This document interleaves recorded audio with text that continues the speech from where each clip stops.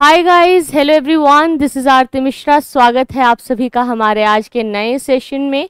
आज की क्लास में हम कवर करेंगे इंडिया ईयर बुक का अपना second chapter lesson number two India land and the people यानी कि भारत के बारे में एक ओवरव्यू है इस पर्टिकुलर चैप्टर में कि इंडिया क्या है, यहाँ की पॉलिटी कैसी है, यहाँ की जोग्राफ़ी कैसी है, यहाँ के लोग कैसे हैं। तो इस बारे में ये चैप्टर है। ये चैप्टर ज़्यादातर अगर आप देखेंगे तो इंडिया ईयर बुक में हमेशा सबसे पहले नंबर पर हुआ करता था। लेकिन इस बार फ़र्स्ट चैप्टर बदल गया है। इस बार जो फ़र्स्ट चैप्टर है, वो पेंडेमिक सिचुएशन के बारे में था। ये जो सेकंड चैप्टर है, ये हर साल जो है इंडिया ईयर बुक में रिपीट होता है और इसी चैप्टर से शुरुआत होती है इंडिया ईयर बुक की।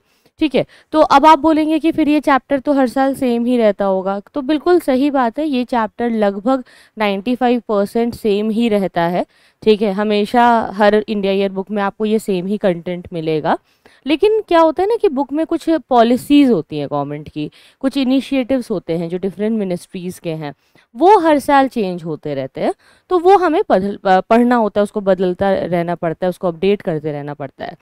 तो I just come to that but before coming to this topic आप सभी को बता दूँगा इस कि इसका पिछला वीडियो अगर आपने नहीं देखा है तो आप इंडिया ईयर बुक का पिछला वीडियो लास्ट जो है, देख लीजिएगा। हमारे यूट्यूब चैनल पर उसकी प्लेलिस्ट बनी हुई है।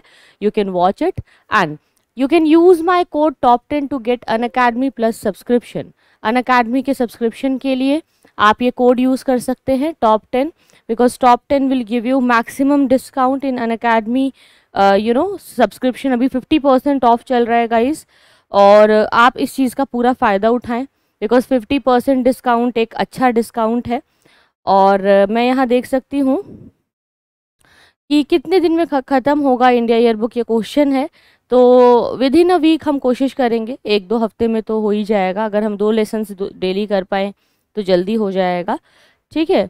और स्पेक्ट्रम को हमने लीव नहीं किया है, स्पेक्ट्रम हम लोग करेंगे कवर, ऐसा मत सोचिए कि हमने स्पेक्ट्रम को लीव किया है, ठीक है? डोंट वरी, ऐसा कुछ भी नहीं है। स्पेक्ट्रम जो है हम पढ़ेंगे, लेकिन इसीलिए उसको अभी हमने होल्ड किया है, क्योंकि एक तो उस पर थोड़े से, मैंने देखा लाइव लर्नर्स कम हो गए थे, और दूसरा हमने ये भी नोटिस किया कि अभी इंडिया ईयर बुक, क्योंकि नई बुक आई है तो इसकी ज़्यादा नीड है और इसे लेकर के काफ़ी एंथुजियाज़म लग रहा है लर्नर्स में। ठीक है तो जब तक ये लगता है कि भाई आपका सपोर्ट है और इस पर्टिकुलर चीज़ को आप जो है पसंद कर रहे हो तो फिर ये उतनी जल्दी जल्दी कंटिन्यू होता चला जाएगा। तो I'll be just doing according to your response ठीक है? It is always dependent on your response कि आप कितना रिस्पॉन्स देते हो, है ना? हर एक वीडियो पर, हर एक लेक्चर पर। तो now coming to the topic सबसे पहले जो हमारा आज का टॉपिक है इंडिया एट ए ग्लांस इसकी बात हो रही है। देखिए, भारत को एक बार एक नज़र से देखने की बात है कि भारत क्या है, ठीक है? तो भारत जो है, ये दुनिया की सबसे पुरानी और सबसे ग्रेटेस्ट सिविलाइजेशंस में से एक है। ये वो देश है जहाँ पर बहुत सारे अलग अलग कल्चर्स आपस में मिल करके साथ में उनका मिक्सचर देखने को मिलता है। तो इसका जो कल्चर है और इसकी जो सामाजिक और आर्थिक स्थिति है, उसे अगर आप देखें तो उस पर बहुत ज़्यादा प्रभाव है भारत की भौगोलिक स्थिति का। भारत की जो भौगोलिक स्थिति है या यहाँ के जो जोग्राफिकल फीचर्स हैं, उनकी वजह से भारत के इतिहास पर और भारत की आर्थिक स्थिति पर भी बहुत ज़्यादा असर पड़ा है। तो अगर हम भारत को देखें तो इसका जो एरिया है three two eight seven two six three square kilometre का एरिया है। और ये जो है, अगर देखें तो ऊपर नॉर्थ में स्नो कैप्ड हिमालय से घिरा हुआ है। बर्फ़ जो है, जमी हुई है हिमालयस पर और वहाँ से होते हुए कोस्टल विलेजेस आपको आते हैं। और फिर साउथ में आप जाते हैं तो एक आपको यू नो एरिया मिलता है। बड़ा सा कोस्टल एरिया मिलता है। पूरा साउथ इंडिया कोस्टल एरिया है। है ना? कोस्ट से घिरा हुआ है और ह्यूमिड ट्रॉपिकल फॉरेस्ट आपको मिलते हैं। साउथ वेस्ट कोस्ट पर आपको फर्टाइल ब्रह्मपुत्रा वैली भी मिलती है, आपको डेजर्ट भी मिलते हैं वेस्ट में और ये सेवेंथ लार्जेस्ट कंट्री है दुनिया की। सेकेंड है पॉपुलेशन के मामले में। सबसे ज़्यादा है चाइना में पॉपुलेशन चाइना के बाद है इंडिया में।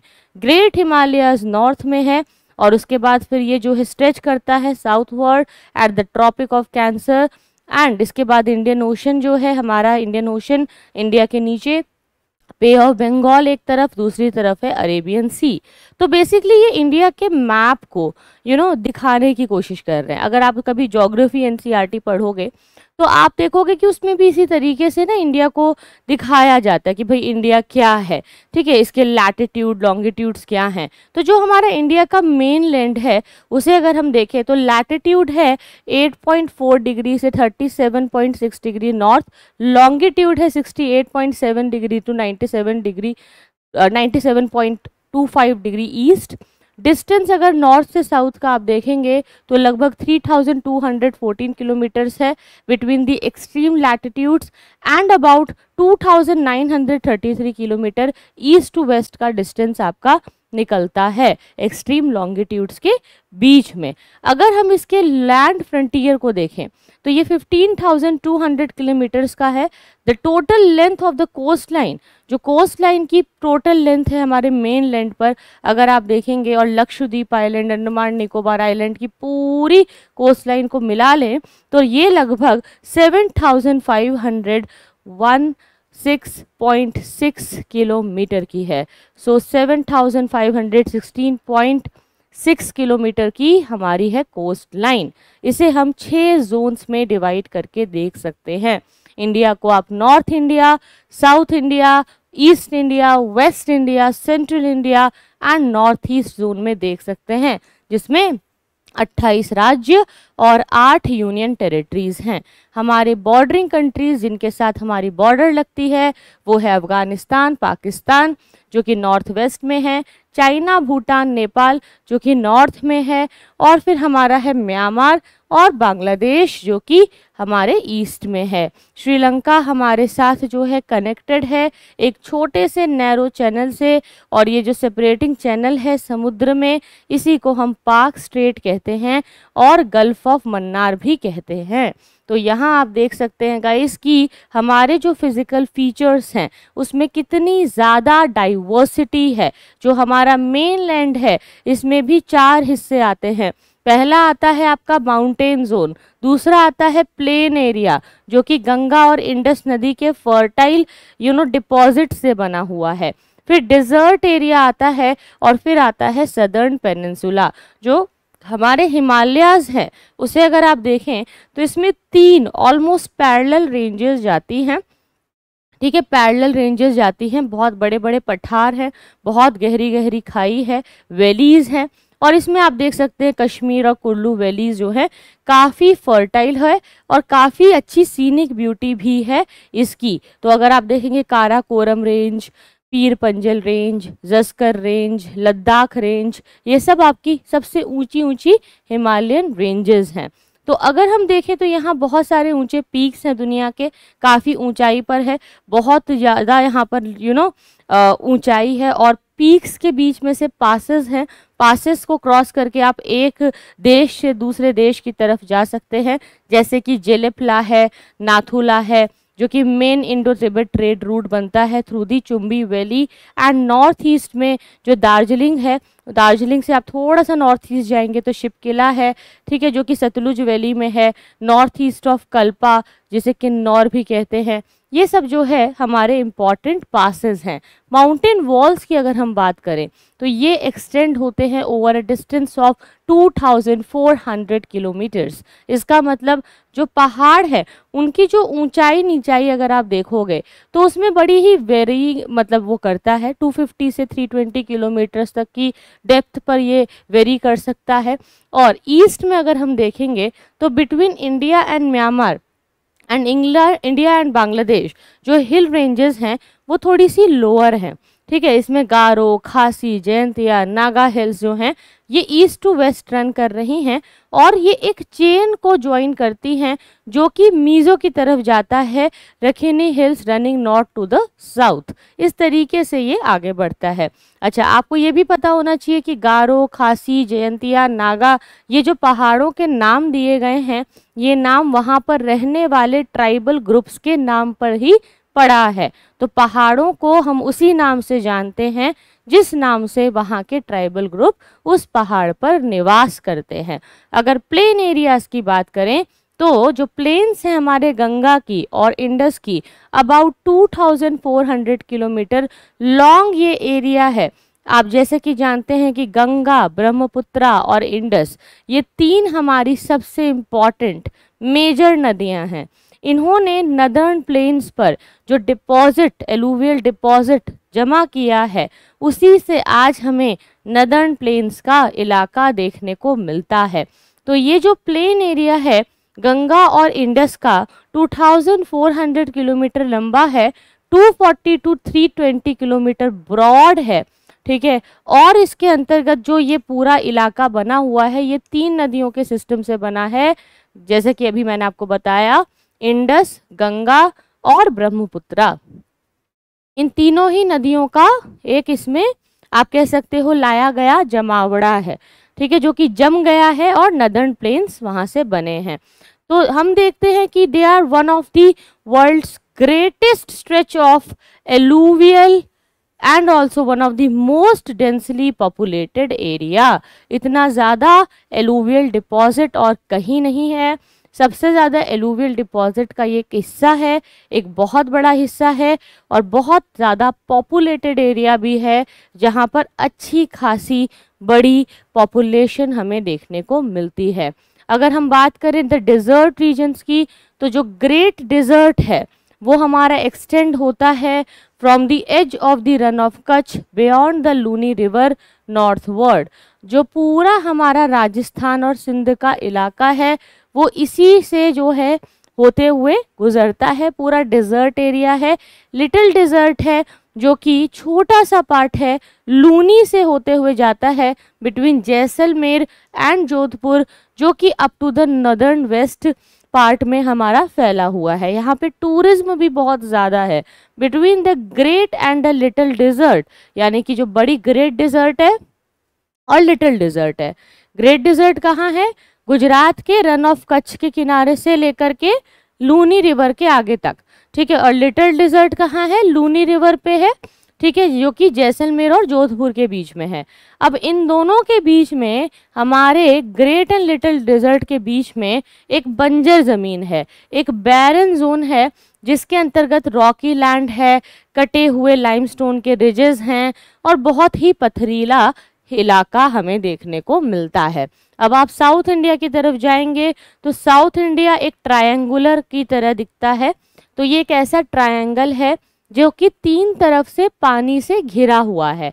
तो कोई भी ऐसी ज़मीन, एक ऐसा ट्रायंगुलर लैंडमास जो तीन तरफ़ से पानी से घिरा हुआ हो, उसे पेनेंसुला कहते हैं, यानी कि प्रायद्वीप कहते हैं। तो ये जो है, हम देखते हैं कि यहाँ पर आप देखोगे कि ऊपर की तरफ़ प्लेन्स ऑफ़ गंगा आ जाएँगे और इंडस आ जाएँगे माउंटेन हिल्स रेंजेस आ जाएँगे। और इसमें आप देखेंगे अरावली हिल्स विंध्या, सतपुरा, मैकल, अजंता, ये सारे हिल्स हैं, जो कि नॉर्थ की तरफ़ हैं। एक तरफ़ है भाई ईस्टर्न घाट्स, दूसरी तरफ़ है वेस्टर्न घाट्स। तो ईस्टर्न घाट की ऊंचाई थोड़ी कम है, केवल 610 मीटर्स है, जबकि वेस्टर्न घाट्स की ऊंचाई ज़्यादा है, ये 915 से 1220 मीटर्स तक की हो सकती है। तो आप देख सकते हैं कि ये काफ़ी ऊँची होती है।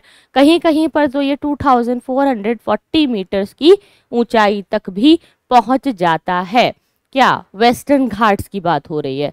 तो ये वेस्टर्न घाट्स की खासियत है।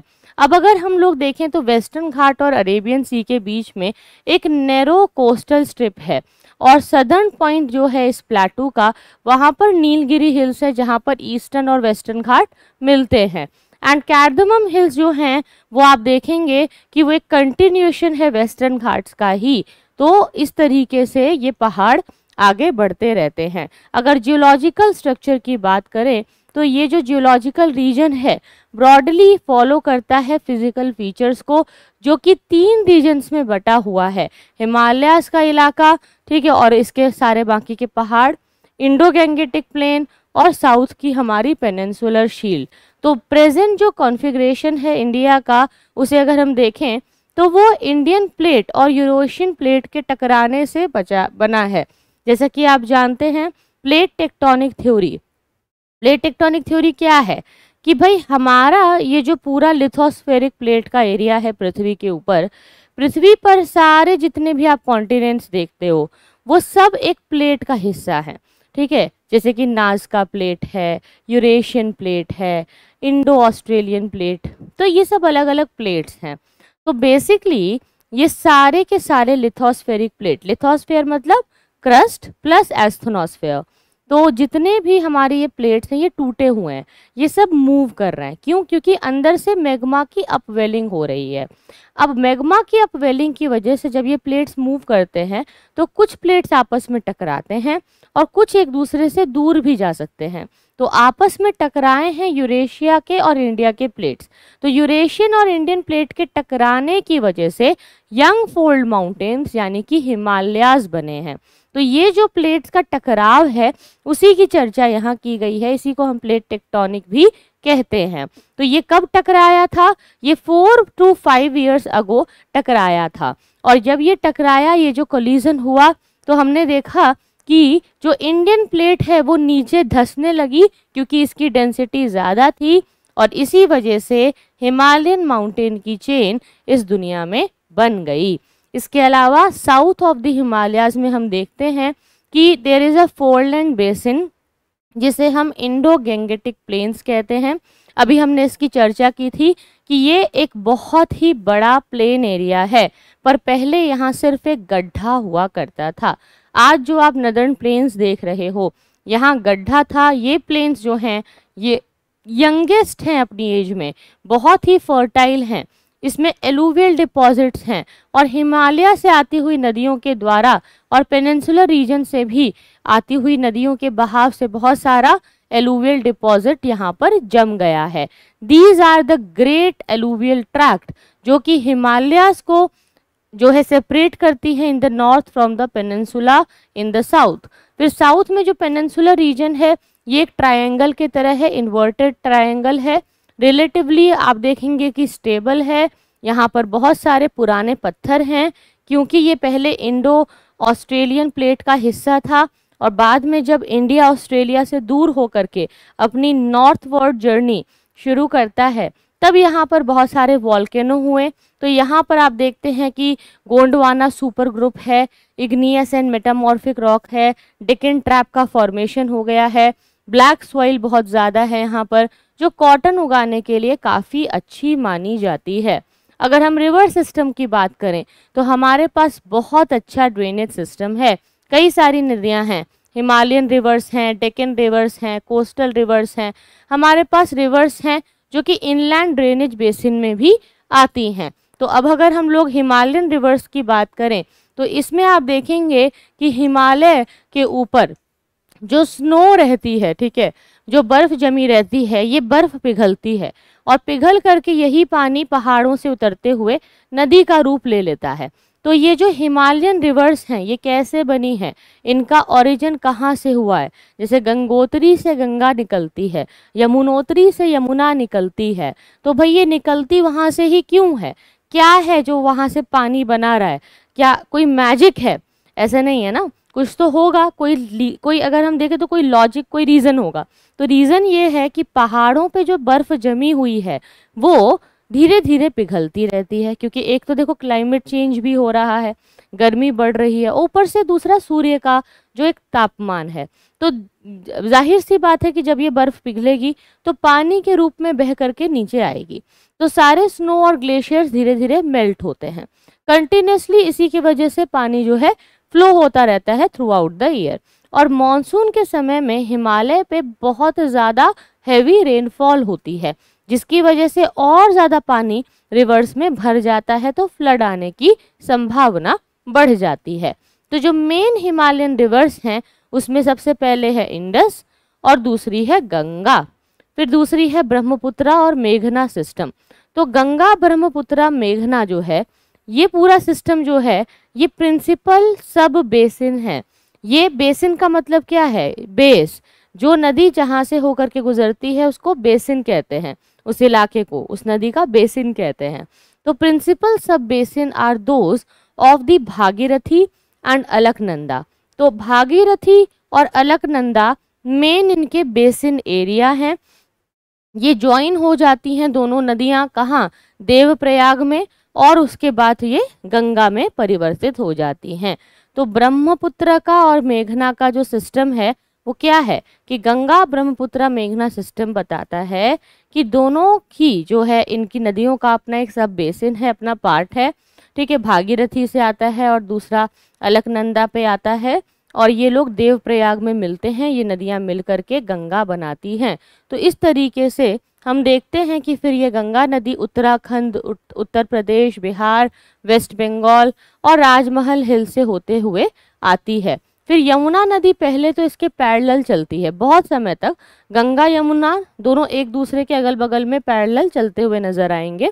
और यमुना के अलावा आप देखेंगे कि गंगा नदी की ट्रिब्यूटरीज है, रामगंगा, घाघरा, गंडक, कोसी, ठीक है, और है महा, महानंदा, ठीक है, सोन रिवर है। ये सब जो है आपकी गंगा नदी की इंपॉर्टेंट ट्रिब्यूटरीज हैं, ठीक है। इसके अलावा चंबल और बेतवा नदी भी इंपॉर्टेंट सब ट्रिब्यूटरीज हैं। जो कि इस पर ज्वाइन होती हैं। ठीक है, यमुना में ज्वाइन होती हैं, फिर यमुना जो है गंगा में ज्वाइन हो जाती है।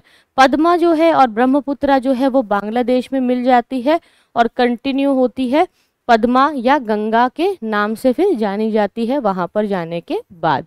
तो इस तरीके से ये नदियों का पूरा फ्लो रहता है। अब ब्रह्मपुत्रा तिब्बत से शुरू होती है।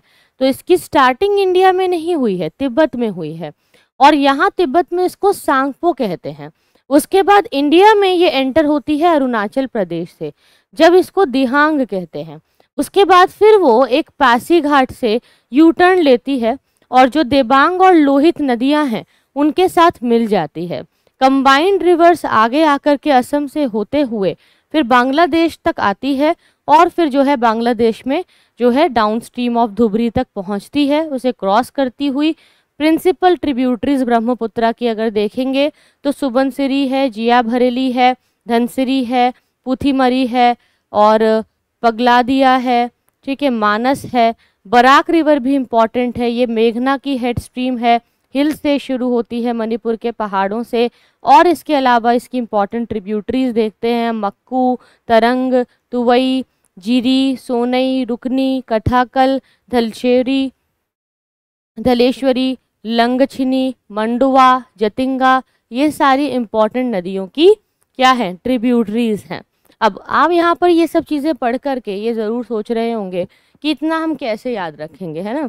और अगर मैप्स के के द्वारा इसको पढ़ा जाए तो और जल्दी ये याद हो जाएगा। तो ऑलरेडी इसकी मैपिंग हम लोग कर चुके हैं हमारी एन क्लास में। अगर आप जोग्राफ़ी की एन क्लासेस देखेंगे, मेरी या पुराने जो भी जोग्राफ़ी के लेक्चर्स हम लोग कवर कर चुके हैं, उसमें आपको मिलेगा ये सारा कंटेंट उसमें हमने ना ये कवर किया हुआ है। अब इसको इतना मैप से कवर कर क्यों नहीं रहे क्योंकि ये ना बहुत कम कंटेंट है।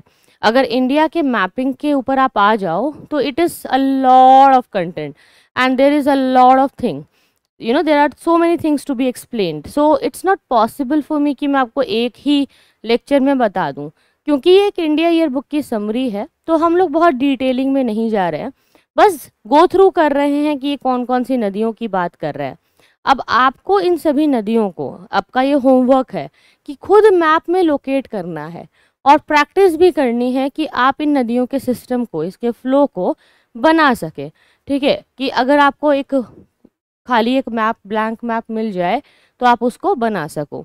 अब थोड़ा साउथ इंडिया के रिवर्स की बात करेंगे डेकन रिवर्स की तो डेकन रिवर्स में आप देखोगे उतना ज़्यादा फास्ट फ्लो नहीं है।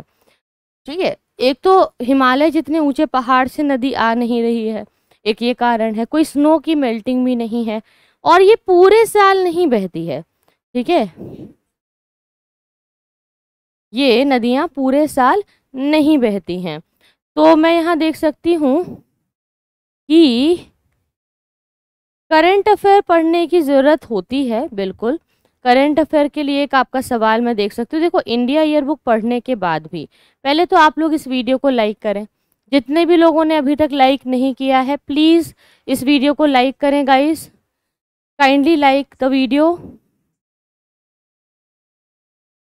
Okay, so guys, सबसे पहले मैं आपको बता दूँ कि आपको करंट अफेयर्स पढ़ना पड़ता है। इंडिया ईयर बुक क्या है आपके पूरे देश में, जो भी चला, पूरे साल का उसका एक ब्यौरा देती है कि आप अपने देश को जानो और आपके देश में क्या नया अपडेट हुआ है, उसको जानो।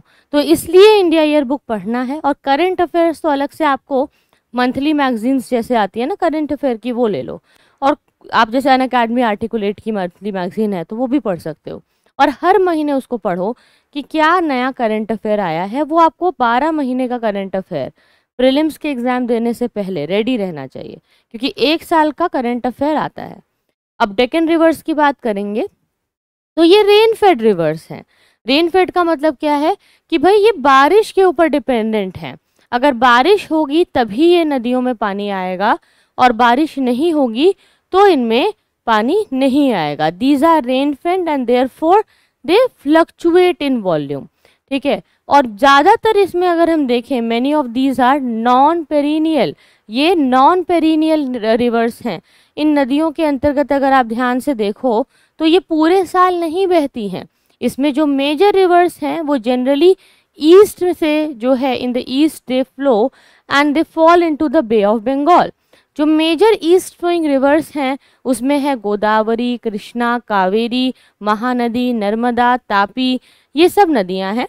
तो देखिए ईस्ट फ्लोइंग में तो महानदी तक है, लेकिन नर्मदा और तापी वेस्ट फ्लोइंग रिवर्स हैं, क्योंकि ये अरेबियन सी में ड्रेन होती हैं। अब सवाल उठता है कि नर्मदा और तापी ऐसा क्यों करती हैं, है ना? तो कारण ये है कि नर्मदा और तापी को जो स्लोप मिल रहा है, जो ग्रेडियंट मिल रहा है, वो अरेबियन सी की तरफ़ होता है। क्योंकि जब ये पहाड़ों से राइज करती हैं, है ना, जैसे आपके अरावुल, अरावली, सतपुरा और अमरकंटक रेंजेस से जब ये राइज करती है तो ये नदियाँ जो है, इनका पानी का स्ट्रीम का जो फ्लो है, वो पूरा का पूरा वेस्ट की तरफ़ जाता है। गोदावरी जो है, इन दी सदर्न पेनसुला ये सेकेंड लार्जेस्ट रिवर बेसिन है इसका, और टेन परसेंट एरिया इंडिया का ये कवर करता है। तो गोदावरी एक बहुत बड़ी नदी है। कोस्टल स्ट्रीम्स की बात करें तो अगर हम वेस्ट कोस्ट को देखेंगे तो वेस्टर्न घाट्स में आप देखेंगे कि ये छोटी है लेंथ में और बहुत ही लिमिटेड कैचमेंट एरिया है।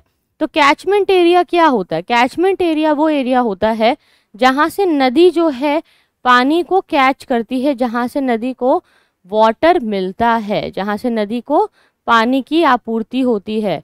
तो नदी जहाँ से पानी को कैच करती है, जहाँ से नदी को पानी मिलता है, वो नदी का कैचमेंट एरिया होता है। तो ज़्यादातर कोस्टल स्ट्रीम्स भी नॉन पेरीनियल हैं। पेरीनियल का मतलब होता है जो पूरे साल बहती है। नॉन पेरीनियल का मतलब होता है जो पूरे साल नहीं बहती है। अगर हम इनलैंड ड्रेनेज की बात करें तो जो स्ट्रीम्स हैं इनलैंड ड्रेनेज बेसिन की of western Rajasthan they are few and they are far apart ठीक है, एक तो वो बहुत कम संख्या में है और दूसरा एक दूसरे से बहुत दूर भी हैं। तो मोस्ट ऑफ़ देम जो हैं are of an ephemeral character इसका मतलब क्या है? ज़्यादातर ये जो इनलैंड ड्रेनेज सिस्टम की नदियाँ हैं वेस्टर्न राजस्थान की, ये बहुत जल्दी सूख जाती हैं। जैसे कि Luni river Machhu river Rupen river Saraswati river Banas river Ghaggar river इन नदियों में आप देखोगे कि एक कीचड़ जैसा फ्लो है, बहुत ज़्यादा पानी नहीं है, ठीक है? बहुत कम पानी रहता है। इसके अलावा ड्रेनेज बेसिन की अगर हम बात करें तो ड्रेनेज बेसिन का मतलब क्या है? बेस ऑफ़ अ रिवर जिस जगह से नदी होते हुए गुजरती है, वो एरिया जो कि नदी बहते हुए कवर करती है, उसी को उस नदी का बेसिन कहते हैं।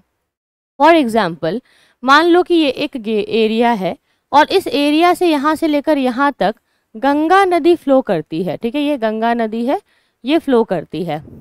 ठीक है? तो ये पूरा एरिया जहाँ से गंगा नदी होकर के गुजरती है, वो गंगा नदी का बेसिन बन जाएगा। That would be known as the basin of river Ganga तो ड्रेनेज बेसिन का मतलब होता है वो इलाका जिसे नदी बहाती है। तो हमारे देश में जो इलाके जिनसे नदी होकर के गुजरती है, उसमें अगर हम देखें तो पूरी जो हमारी कंट्री है the entire country has been divided into twenty rivers basin पूरे देश में कितनी रिवर बेसिन्स हैं? इंडिया के टोटल ट्वेंटी रिवर बेसिन्स हैं। ठीक है? याद रहेगा? Very important how many basins are there in total twenty twenty river basin जो है, इसमें ग्रुप ऑफ़ रिवर्स हैं।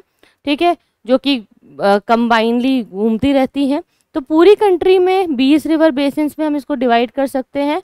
और अगर हम ग्रुप ऑफ़ रिवर बेसिन्स को देखें तो इसमें से तो 12 जो है मेजर बेसिन्स हैं और बाकी की आठ जो है वो कंपोजिट रिवर बेसिन है। इसका मतलब क्या हुआ? बारह है मेजर रिवर बेसिन जो बड़ी नदियों की बनी हुई है और आठ हैं जो छोटी छोटी नदियों को मिला जुला करके बनी हुई हैं कंपोजिट कैरेक्टर की हैं। ठीक है? तो टोटल बीस नदियों के बेसिन्स हैं हमारे पास। बीस में से जो बारह नदियाँ हैं वो मेजर हैं। और बाकी की जो आठ हैं वो कंपोजिट हैं। अब बारह मेजर रिवर बेसिन्स कौन कौन सी नदी बनाती है?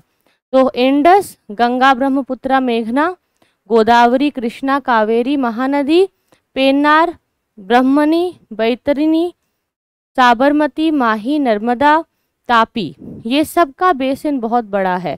कितना है? ट्वेंटी थाउज़ेंड स्क्वायर किलोमीटर तक का होता है। इतना बड़ा area twenty thousand square kilometre तक का जो एरिया है, ये नदियाँ घेर लेती हैं। बाकी आती है आपकी आठ कंपोजिट रिवर बेसिन जो छोटी मोटी नदियों के साथ मिल करके, जुड़ करके तैयार होती हैं। इसमें मीडियम एरिया कवर होता है, जो लगभग 2000 से 20000 स्क्वायर किलोमीटर का हो सकता है। इसमें छोटी नदियों के इलाके आते हैं। इसका जो है, आप देखो तो इसको कई बार यूज़ भी किया जा सकता है प्लानिंग और मैनेजमेंट के लिए कि भाई नदी कहीं पर यू नो पानी की आपूर्ति करनी है, खेतों के लिए पानी चाहिए। तो वहाँ ऐसी छोटी मोटी नदियों का भी प्रयोग कर लिया जाता है। ठीक है, अब क्लाइमेट्स और सीज़न की हम बात करें तो हमारे देश में मौसम बहुत बदलता रहता है। ठीक है, आप देखोगे कि हम लोग जो है हर तरीके के अलग अलग डिफरेंट क्लाइमेटिक सिचुएशंस को देखते हैं। तो जो क्लाइमेट है इंडिया का इसे अगर आप देखें तो इसे ब्रॉडली आप डिस्क्राइब कर सकते हैं as tropical monsoon type tropical क्यों है? क्योंकि ट्रॉपिकल इसीलिए है because we are very near to the tropics है ना? ज़ीरो डिग्री इक्वेटर के हम करीब हैं and twenty three and half degree Tropic of Cancer India को बीचों बीच से काटता है।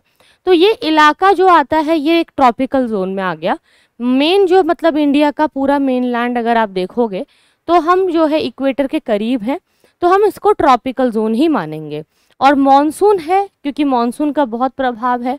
ठीक है मॉनसून विंड से आती हुई हवाएँ और उसकी बारिश जो है, भारत के ऊपर बहुत ज़्यादा क्लाइमेटिक सिचुएशंस को चेंज करती है। तो इंडिया के क्लाइमेट का नाम क्या है? कि ठंडा इलाका है, गर्म इलाका है, क्या है? ये tropical monsoon type of climate है। और इंडिया का the Indian Meteorological Department IMD जो है, वो कहता है कि भारत में चार ऑफिशियल सीज़न हैं। सर्दी का सीज़न जो जनवरी से फेबररी के बीच में रहता है। प्री मानसून या समर सीज़न, जो बारिश आने से पहले की गर्मी है, जो जैसे कि अभी चल रहा है तो मार्च, अप्रैल और मई वाला महीना। फिर आता है आपका साउथ वेस्ट मानसून, जून, जुलाई, अगस्त, सितंबर। ये साउथ वेस्ट मानसून का टाइम है। जब मेन बारिश का सीज़न आता है।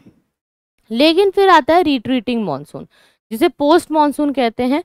जब मानसून वापस लौटता है और ये नॉर्थ ईस्ट मानसून भी कहलाता है, क्योंकि नॉर्थ ईस्ट की डायरेक्शन रहती है। तो अक्टूबर, नवंबर, दिसंबर में हल्की ठंडी और फुल्की, बहुत हल्की फुल्की सी बारिश हमें देखने को मिलती है। तो ये क्लाइमेट्स एंड सीजन्स हैं, जो कि चार ऑफिशियली हमारे देश में देखने को मिलते हैं। अब ये मानसून क्या है?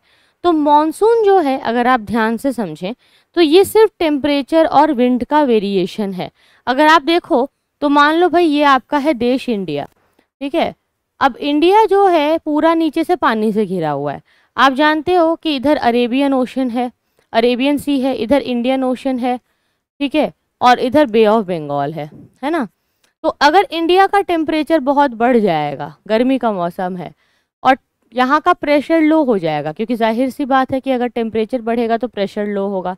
तो अगर लो प्रेशर हो जाएगा तो सभी हवाएँ, समुद्री हवाएँ अरेबियन सी से इंडियन ओशन से बे ऑफ़ बंगाल से इंडिया की मेन लैंड की तरफ़ आने लगेंगी और ये सारी हवाएँ अपने साथ खूब सारा मॉइस्चर लाएँगी, क्योंकि समुद्री इलाके से आ रही हैं, पानी लेकर के आ रही हैं, नमी लेकर के आ रही हैं। और सारी की सारी जो ये हवाएँ हैं ये हिमालय से टकराएँगी और खूब जो है बारिश करेगी और खूब वर्षा होगी तो मानसून आएगा।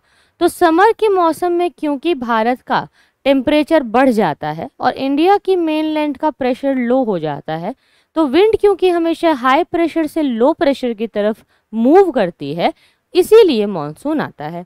और इसी का उल्टा हमें सर्दी के मौसम में देखने को मिलता है, जब भारत का टेम्परेचर घट जाता है प्रेशर हाई हो जाता है और हाई प्रेशर से विंड वापस जो है समुद्री एरिया की तरफ़, क्योंकि वहाँ लो प्रेशर है तो मूव करती है। क्योंकि जो लैंड होता है, उसको ठंडा और गर्म होने में ज़्यादा टाइम नहीं लगता। जबकि पानी को ठंडा और गर्म होने में बहुत ज़्यादा टाइम लगता है। ठीक है, पानी एक बार अगर ठंडा हो गया तो उसको दोबारा गर्म करने में भी टाइम लगेगा। एक बार गर्म हो गया तो वापस इसे कूल डाउन होने में भी टाइम लगेगा।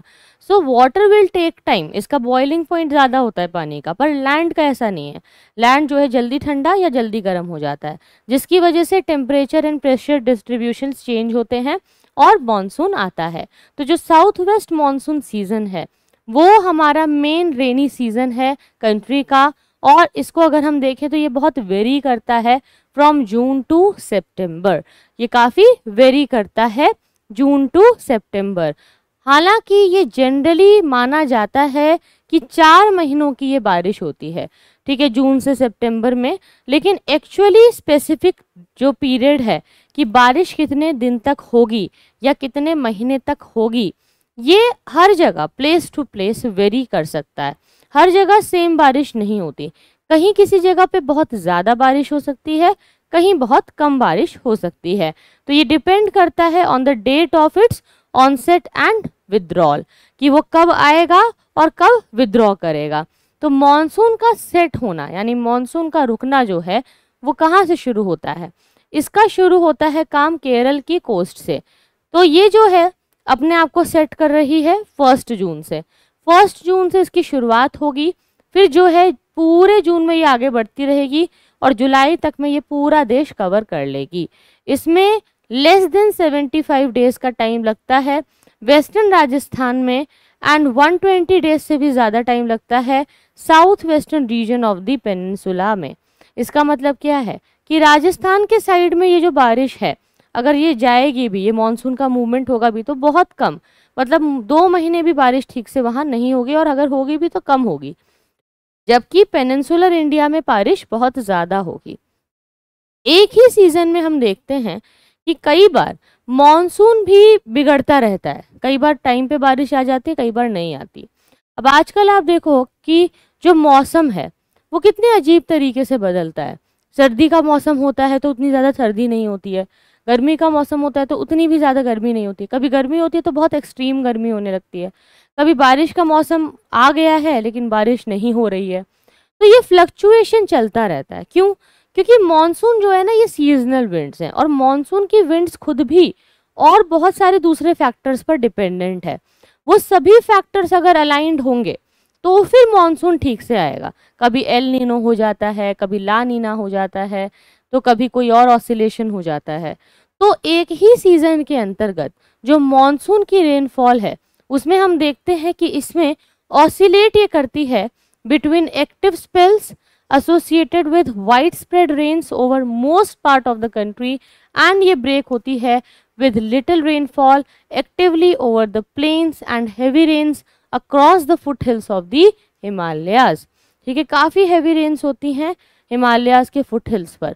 अगर हम बेस्ड ऑन डाटा देखें तो 1971 से 2020 के बीच में इंडिया ने 868.6 mm 868.6 mm रेनफॉल देखा during the south west monsoon season और इंडिया का जो मानसून है, ये ब्लो होता है साउथ वेस्ट से during the warmest month of the year and वापस उल्टा रिवर्स डायरेक्शन में जाता है ब्लो होता है from north east during the cooler month ये जो प्रोसेस है, ये बहुत ज़्यादा रेनफॉल लाता है। इस रीजन में जून से सितंबर के बीच में और इसे रिगार्ड किया जाता है principally as the rainy season principal rainy season इसी को हम क्या कहते हैं? प्रिंसिपल रेनी सीज़न यही मेन वर्षा का सीज़न होता है। यही मेन वर्षा का मौसम होता है, जो कि हम देखते हैं। तो वर्षा का मौसम कुछ इसी तरीके से होता है। अगर हम साइक्लोन की प्रेवलेंस की बात करें तो जो ट्रॉपिकल साइक्लोन्स हैं they are originated over the warm oceans of the world tropical cyclones जो हैं हमारे, वो warm ocean of the world यानी ट्रॉपिकल है। ट्रॉपिकल का मतलब क्या हुआ? कि भाई ट्रॉपिकल एरिया पे है ज़ीरो डिग्री के आसपास है। तो कहीं कहीं पर क्या होता है कि मान लो कि एक एरिया है, ठीक है? इसके आसपास खूब सारे आपने पेड़ लगाए हुए हैं ठीक है हरियाली है तो पेड़ क्या करेंगे? थोड़ा सा ठंडक बना के रखेंगे टेम्परेचर को डाउन करेंगे। अब मान लो कि बीच में से किसी ने जंगलों को साफ़ कर दिया है तो यहाँ का टेम्परेचर अत्यंत बढ़ जाएगा प्रेशर लो हो जाएगा और ये सारी की सारी हवाओं को अपनी तरफ़ अट्रैक्ट करेगा, क्योंकि लो प्रेशर जोन बन जाएगा और तेज़ी से तूफ़ानी हवाएँ इस लो प्रेशर की तरफ़ आ जाएँगी।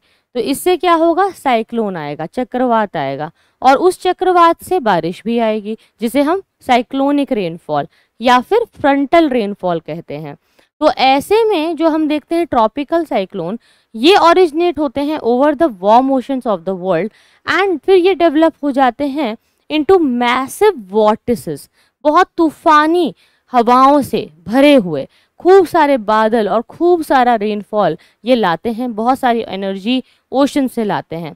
तो ऐसा कोस्टल एरियाज़ में होना बहुत पॉसिबल है, क्योंकि कोस्टल एरिया में जो है वो पानी से घिरा हुआ रहता है। And east and west coast India के काफ़ी ज़्यादा प्रोन हैं to the destructive tropical cyclone activities बहुत ज़्यादा हमारे कोस्टल एरियाज़ पर स्पेशली उड़ीसा में, हर साल आप देखोगे कि चक्रवात आता है, बाढ़ आती है। तो अगर हम देखें तो सीज़न को अगर हम देखें तो its development is season in nature seasonal nature में क्यों है? क्योंकि साइक्लोन कैसा डेवलप होगा? कब आएगा? ये सीजनल है। ज़्यादातर जो ट्रॉपिकल ओशन बेसिन्स होते हैं, उसमें हम देखते हैं कि ज़्यादा फ्रीक्वेंसी होती है फॉर्मेशन की during the late summer to early autumn period तो यहाँ पर जो ट्रॉपिकल साइक्लोन्स होंगे, वो ज़्यादा इसी टाइम में आएँगे। Most tropical cyclones ocean basin से आते हैं। और बहुत ज़्यादा समर के टाइम में या अर्ली ऑटम के टाइम में इसकी फ्रीक्वेंसी होती है। और जो ट्रॉपिकल साइक्लोन्स मानसून सीज़न में आते हैं, वो ज़्यादातर आपको जून के टाइम में देखने को मिलेंगे जब मानसून ख़त्म हो चुका है या मानसून वापस जा रहा है। तो मानसून जब ख़त्म होने लगता है, ठीक है, बारिश जब ख़त्म होने लगती है, तब साउथ वेस्ट मानसून के ऑनसेट पर यू नो ख़त्म होने पे हमें कुछ साइक्लोन्स देखने को मिलते हैं। भारत की अगर जैव विविधता की बात करें तो उसमें कोई कमी नहीं है। यहाँ का फ्लोरा बहुत रिच है। अगर आप देखें तो जो भी डाटा है हमारे पास, वो दिखाता है कि इंडिया टेंथ पोजीशन पर है in the world and fourth in the Asia in the plant diversity पेड़ पौधों की बहुत ज़्यादा डाइवर्सिटी है, ठीक है? From about seventy percent of geographical area surveyed So far, over 46,000 species of plants have been described by Botanical Survey of India, BSI. Botanical survey of India ने 46,000 जो जातियाँ हैं प्लांट्स की उनके बारे में बताया है और जो वेस्कुलर फ्लोरा है which forms the conspicuous vegetation cover इसमें पंद्रह हज़ार स्पीसीज हैं जो अपने आप में काफ़ी यूनिक हैं इंडिया के अंदर आठ प्रकार के डिस्टिंक्ट फ्लोरिस्टिक रीजन है। वेस्टर्न हिमालयाज में अलग प्रकार के फूल हैं। Eastern Himalayas, Assam, Indus plain, Ganga plain, Deccan, the Malabar and the Andamans. इन सभी इलाकों में अपनी एक फ्लोरा की पेड़ पौधों की डिफरेंट एक वैरायटी है। अगर आप वेस्टर्न हिमालयन रीजन में जाएँगे तो ये कश्मीर से कुमाऊं हिल्स तक जाता है। इसमें हम देखते हैं कि ये टेम्परेट जोन का इलाका है। तो यहाँ पर बहुत जंगल हैं, चीर के पेड़ हैं, पाइन के पेड़ हैं, ठीक है, कॉनिफर्स हैं, ब्रॉड लीव्ड टेम्परेट ट्रीज भी हैं। और थोड़ा और ऊंचाई पर जाएँगे तो देवदार के वृक्ष मिलेंगे, ब्लू पाइन के वृक्ष मिलेंगे स्पर्स मिलेगा, सिल्वर फर मिलेगा। और यहाँ पर आप देखेंगे कि बहुत ऊँचे, हाई लेवल्स के सिल्वर फर मिलेंगे, सिल्वर के बर्च मिलेंगे, जूनिपर्स मिलेंगे। ये सब बहुत ही ज़्यादा ऊंचाई पर पाए जाने वाले पेड़ हैं। अगर आप ईस्टर्न हिमालयस के इलाके में आए तो यहाँ आप सिक्किम से ईस्टवर्ड की तरफ़ आ रहे हैं, दार्जिलिंग और केसियोंग के साथ। तो यहाँ आप देखेंगे कि ओक, लॉरेल्स, मेपल्स के पेड़ हैं रेडोड्रेंट्स के पेड़ हैं, एल्डर है, बर्च है, कॉनिफर्स, जूनिफर डॉर्फ विलोज यहाँ पर बहुत ज़्यादा ग्रो होते हैं। हालाँकि इनकी हाइट उतनी ज़्यादा नहीं होगी जितनी वेस्टर्न हिमालयाज की है ऑफ़ कोर्स बट हाँ ये भी काफ़ी अच्छे पेड़ हैं जो कि हमें मिलते हैं। ठीक है, यहाँ तक किसी को कोई डाउट्स तो नहीं है? कोई question anything if you want to ask anything please let me know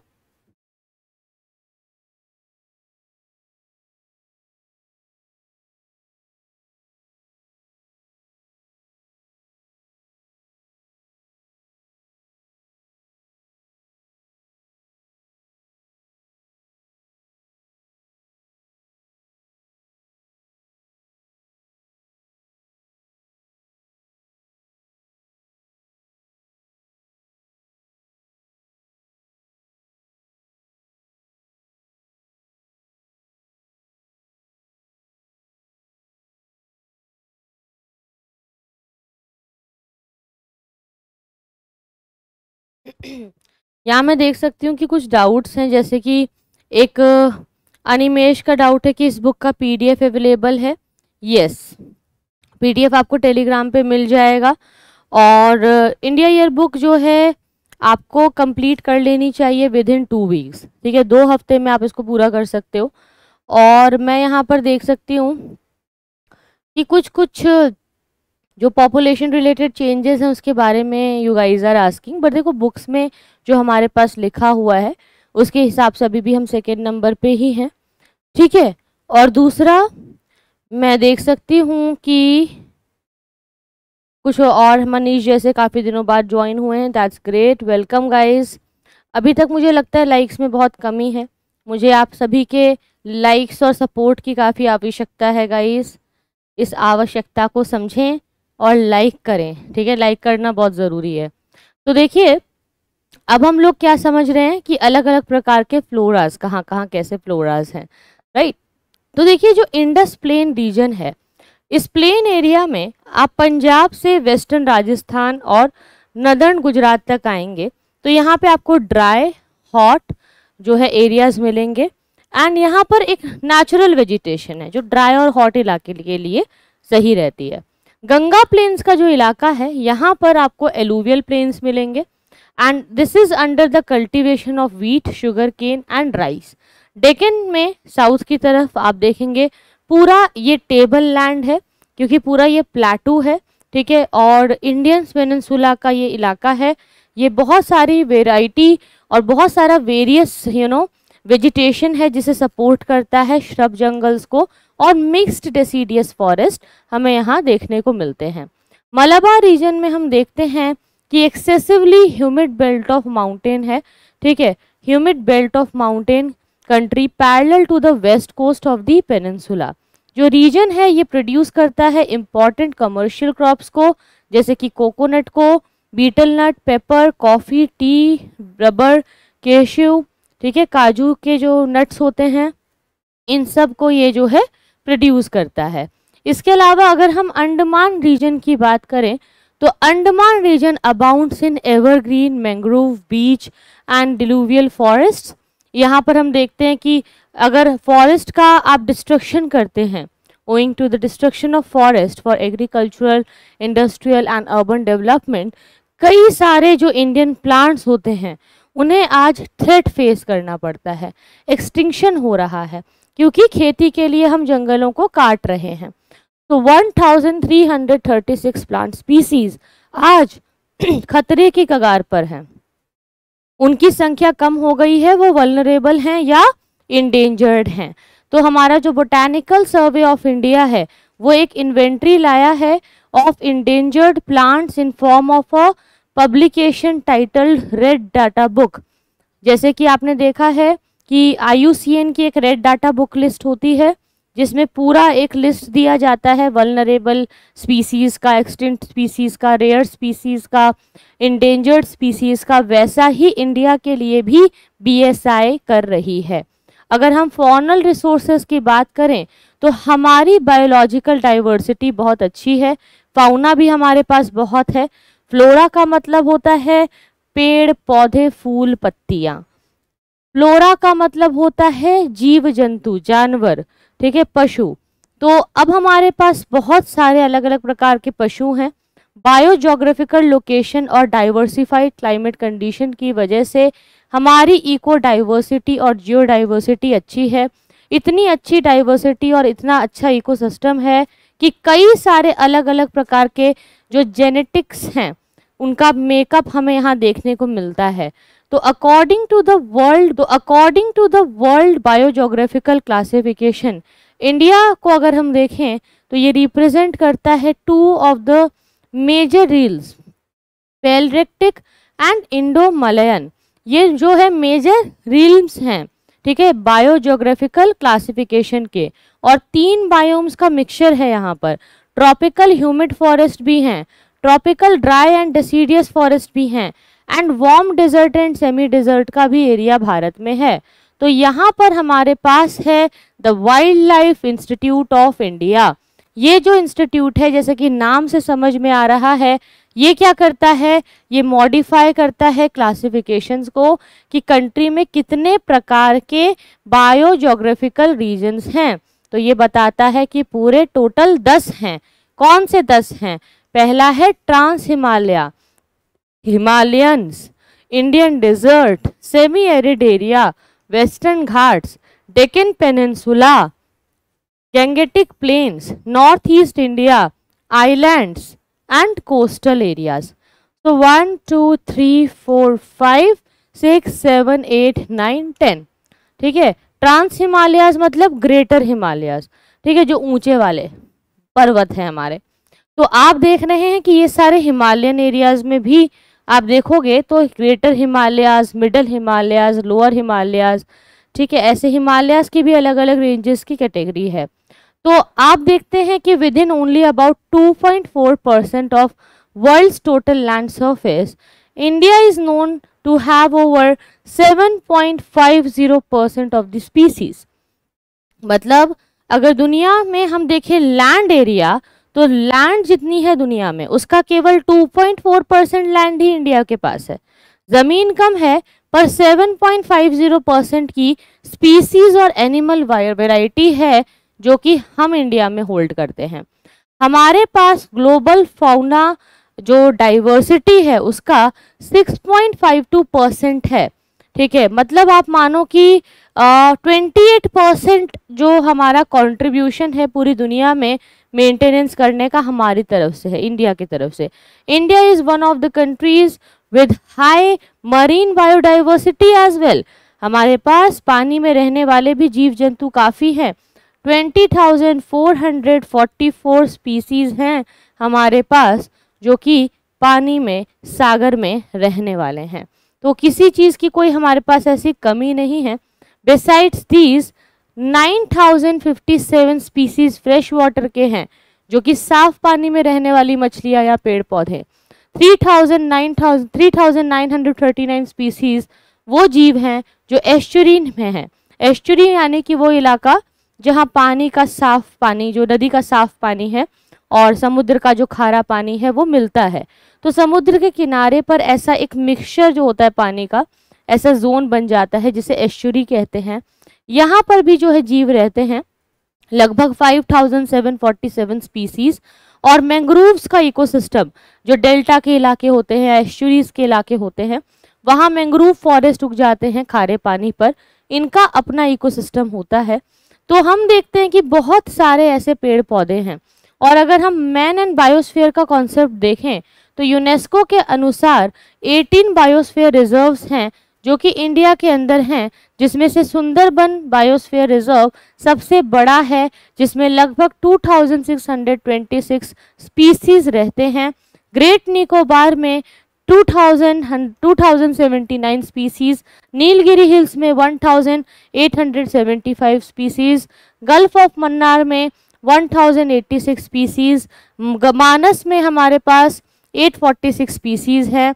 Pachmarhi में 795 स्पीसीज हैं अचर कमर अमरकंटक में 649 स्पीसीज हैं, सिमलीपाल में 539 स्पीसीज हैं और नंदा देवी में 427 स्पीसीज हैं न्यूक्रेव में 262 स्पीसीज हैं एनिमल्स की, जिन्हें रिपोर्ट किया गया है यूनेस्को के द्वारा और ये 18 जो है, ये प्रीलिम्स में पूछा जा सकता है कि इनमें से बताओ कौन सा आपके 18 बायोस्फीयर रिजर्व्स में से एक है according to UNESCO they may ask you in the exam so you must know and out of 35 biodiversity hotspot दुनिया के जितने बायोडाइवर्सिटी के हॉटस्पॉट्स हैं, उन 35 हॉटस्पॉट्स में से हमारे पास है Himalayas Indo Burma Sundaland western Ghat ये सब है। श्रीलंका के साथ इंडिया का एक शेयर्ड हाई डिग्री एंडेमिज्म है तो हम लोग हर चीज़ में काफ़ी अच्छे हैं। अगर सेंसस की बात करें तो सेंसस का जो डाटा है हर साल कलेक्ट नहीं होता तो एक प्रोसेस होता है सेंसस में कि आप सब लोगों को काउंट करते हो, ठीक है? हर प्रकार के लोग, समाज में कैसे कल्चर के हैं, क्या आर्थिक स्थिति है, ठीक है? पूरी कंट्री का एक पर्टिकुलर टाइम में क्या है? तो ये हर दस साल में एक बार होता है।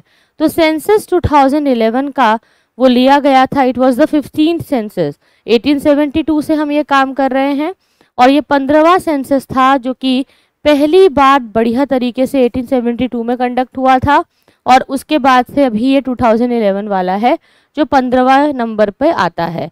ये हुआ था फेजेस में, एक मार्च को ये जो है इसका शुरुआत हुई थी इसकी और सेंसस 2021 का जो है, इसे कंडक्ट किया गया था दो फेजेस में।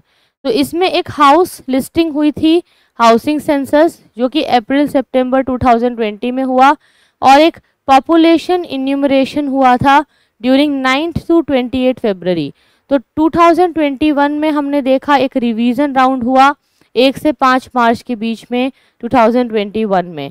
तो कोविड की वजह से फिर ये पोस्टपोन हो गया फर्दर ऑर्डर्स की वजह से। तो अभी जो है ये कंटिन्यू नहीं हो पाया था लेकिन आई होप बहुत जल्दी ये सेंसस हमारा यू you नो know, इसका राउंड अप कंप्लीट होगा। लेकिन जितना डाटा अब तक हमें मिला उससे पता चलता है कि इंडिया की पॉपुलेशन जो है अभी काफ़ी ज़्यादा है। 121.09 करोड़ ठीक है? तो कहते हैं ना सवा करोड़ भारतीय। तो भाई सवा करोड़ से भी ज़्यादा हो गए हैं भारतीय। 62.33 करोड़ मेल्स हैं। जबकि 58.76 करोड़ फीमेल्स हैं। सो यू कैन सी कि मेल और फीमेल का जो रेशो है, अब वो थोड़ा सा ठीक हो गया है। Out of this 83.38 crore 68.9 percent जो है हमारी रूरल एरिया में है पॉपुलेशन और रेस्ट 37.71 करोड़ अर्बन एरियाज़ में रहती है। यानी कि भारत के आज भी मैक्सिमम लोग गाँव में रहते हैं। तो with the population of 100 two 87 crore 2001 में हम देखते हैं कि इनके अंदर एक डिकेडल ग्रोथ रेट हुई। मतलब हर यू नो दस साल में एक ग्रोथ बढ़ती जा रही है। तो 2001 से 2011 के बीच में हम देख रहे हैं 17.7 परसेंट की इंक्रीज आई है पॉपुलेशन में। तो हम मानते हैं कि भाई हम जो है रीच हो रहे हैं 1360.0 मिलियन से 2021 में प्रोजेक्टेड है कि 2036 में हमारी पॉपुलेशन 1522.3 मिलियन हो जाएगी। इंडिया में अगर हम देखें तो बहुत कम दुनिया का सरफेस एरिया है। केवल 2.4 परसेंट ही दुनिया का सरफेस एरिया हमारे पास है। लेकिन अगर आप इसमें देखें तो पॉपुलेशन बहुत ज़्यादा रह रही है। And area of 135.79 million square kilometre yet it accounts for 17.3 percentage of the world population इसका मतलब क्या है? कि दो परसेंट ज़मीन पर सत्रह प्रतिशत लोग इस दुनिया के बर्डन डाले हुए हैं। And that's why the land is so costly in India India में ज़मीन जितनी कॉस्टली है, जितनी महँगी है, उतना विदेशों में नहीं है।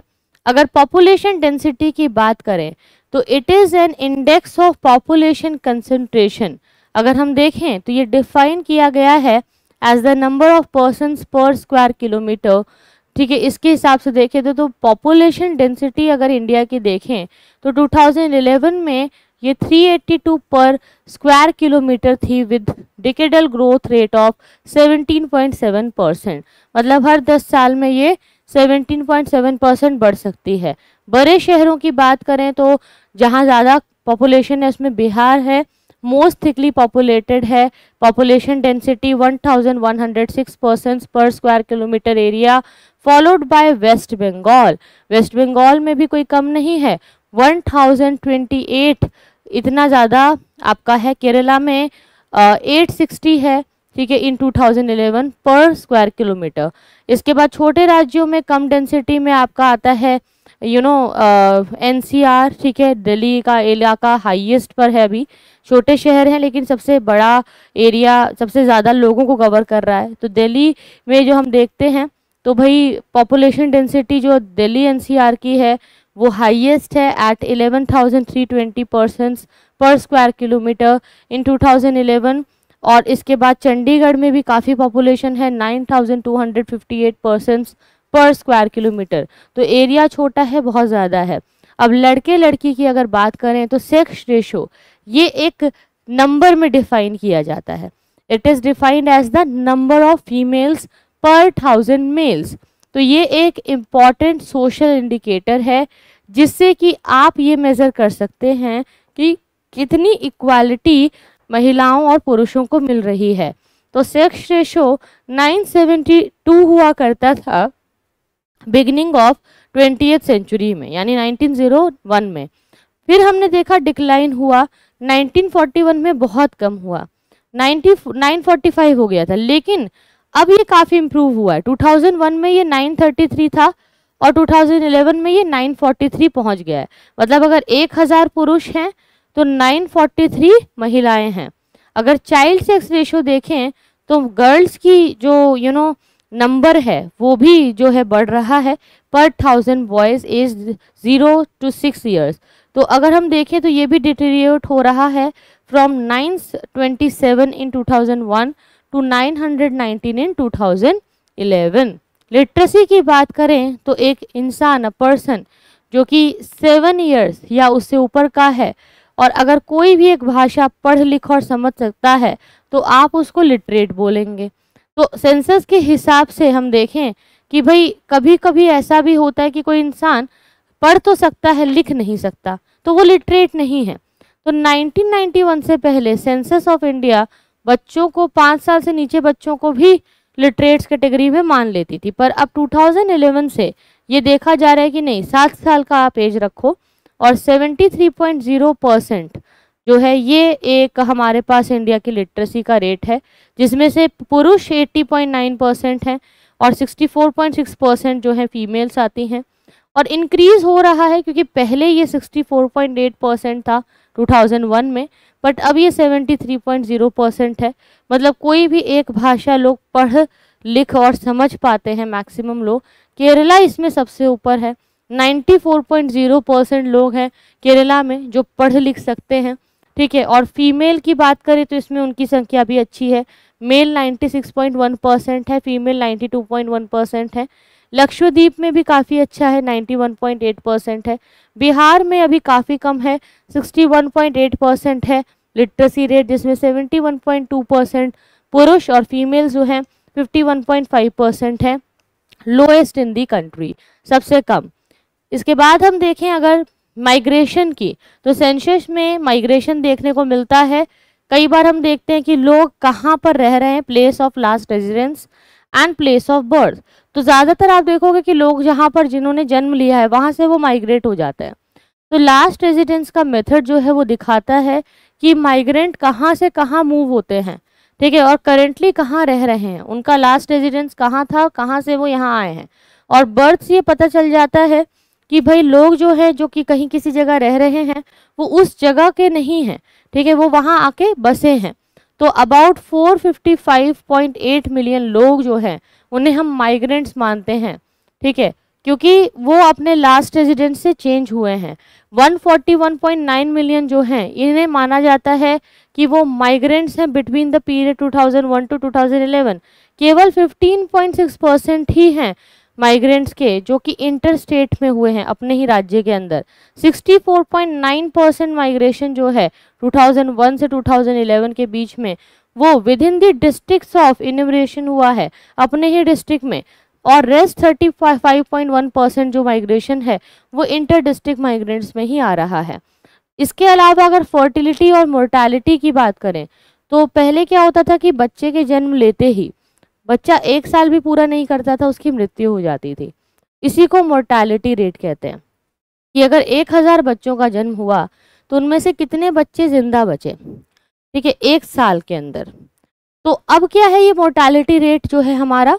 कम हो रहा है, यानी कि कम बच्चों की मृत्यु हो रही है विच इज़ गुड और फर्टिलिटी की भी अगर हम बात करें तो इसको भी इस तरीके से देखा जाता है। तो फर्टिलिटी रेट है total fertility rate T F R ये एवरेज नंबर ऑफ़ चिल्ड्रन है that would be born to a women over her lifetime कि मतलब एक महिला पूरी ज़िंदगी में कितने बच्चों को पैदा करेगी। तो ये अबाउट 2.1 चिल्ड्रन पर वुमेन आ रहा है और it is called replacement level fertility तो ये पहले जो है 2.6 इन 2008 था 2.2 इन 2018 था और ग्रेजुअली ये जो है कम हो रहा है। सो हम लोग जो है अचीव कर रहे हैं the replacement level of fertility यानी कि अब ये ड्रॉप हो रहा है which means the fertility rate is coming to two point zero two point two से टू पॉइंट ज़ीरो की तरफ़ आ रहे हैं। और ये N F H S five की रिपोर्ट दिखाती है। इसका मतलब पहले महिलाएँ जितनी ज़्यादा बच्चों को जन्म देती थीं, उतना अब नहीं दे रही हैं।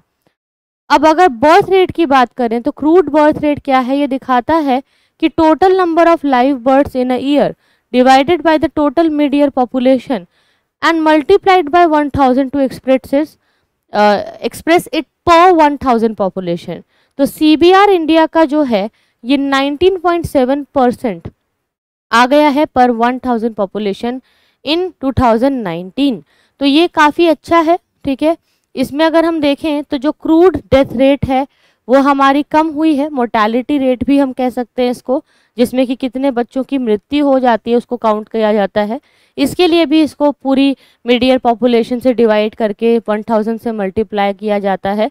तो ये हम देखते हैं 2019 में 6.0 पर 1000 पॉपुलेशन थी generally down from the 7.3 in 2009 तो 2009 से हम थोड़ा और कम हुए हैं तो ये अच्छी बात है। इसका मतलब ज़्यादा बच्चों की मृत्यु नहीं हो रही है। इन्फेंट मोर्टेलिटी रेट है कि भाई जो इन्फेंट बच्चे होते हैं, एक साल से भी कम आयु के, वो कितने ज़िंदा बच रहे हैं? तो इंडिया में अच्छा रिड्यूस किया है हमने, और ये अच्छी बात है कि पहले हमारा इन्फेंट मोर्टेलिटी रेट जो है, वो बहुत ज़्यादा था, ठीक है 2009 में 50 बच्चों की मृत्यु हो जाती थी, हज़ार में से। लेकिन अब केवल 30 ही बच्चों की होती है। हालाँकि ये 30 भी कोई बहुत कम नहीं है, लेकिन इसे हम और कम कर सकते हैं राइट तो यहाँ तक काफ़ी सारी चीज़ें हमारी कवर हो गई है। अब गाइज़ आज के लिए इतना ही। आज हमने काफ़ी कुछ कवर कर लिया। यहाँ पर आज की हमारी क्लास कवर होती है। हमने पूरा ये चैप्टर अच्छे से कवर किया है। वर्ड टू वर्ड इसके एक समराइज्ड वर्जन में आपको एक्सप्लेनेशन मिल चुका है। एंड आई होप कि आप जो है समझ पा रहे हैं इस इंडिया ईयर बुक को। तो ये पहला चैप्टर थोड़ा सा लेंदी रहता है, ठीक है? It takes time to cover this particular chapter but it's very important and it's worth it ठीक है? बहुत ज़रूरी है ये। तो I hope guys you enjoyed the session अब आज की क्लास के कोई डाउट्स हैं अगर तो आप पूछ सकते हैं। If there is anything you want to ask जिन लोगों ने अब तक अगर इसे लाइक like नहीं किया है तो आप लोग प्लीज़ इस सेशन को लाइक like करें। दूसरा गाइज़ आप सभी को एक, मैं देख सकती हूँ आपका सवाल है कि हमें इसकी पीडीएफ कहाँ से मिलेगी। तो आपको कहाँ से मिलेगी पीडीएफ आपको simply come you need to come to my Telegram channel आप बस मेरा नाम सर्च करो, आरती मिश्रा अन अकेडमी ठीक है, Aarti Mishra Unacademy you need to search on Telegram आप इसे टेलीग्राम पे सर्च कीजिए, आरती मिश्रा अन अकेडमी ऐसा सर्च करते ही आपको टेलीग्राम पे मेरा चैनल मिलेगा। स्पेलिंग का ध्यान रखिए double A and double E ठीक है, ऐसे स्पेलिंग का ध्यान रखेंगे। Aarti Mishra Unacademy search करेंगे and you will be able to join my channel there only you will get all the P D F everything there I upload regularly on daily basis and जब भी मैं YouTube पर live आऊँगी, जब भी मैं YouTube पर classes लूँगी तो उसका अपडेट आपको टेलीग्राम पर मिलेगा। साथ ही गाइज़ मैं आपको बता दूँ कि हम लोग एक नई सीरीज़ स्पेशल क्लासेस के थ्रू स्टार्ट करने वाले हैं। ठीक है? जिसमें कि हम कुछ नए टॉपिक्स कवर करेंगे जीएस के और कुछ स्ट्रैटेजी के भी वीडियोस होंगे।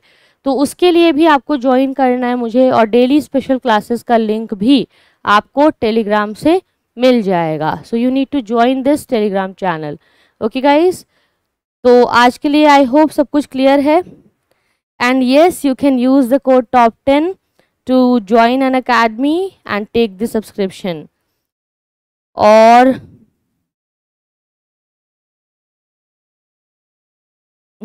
नहीं सुपर हिट वो मैंने बात कर ली है डोंट वरी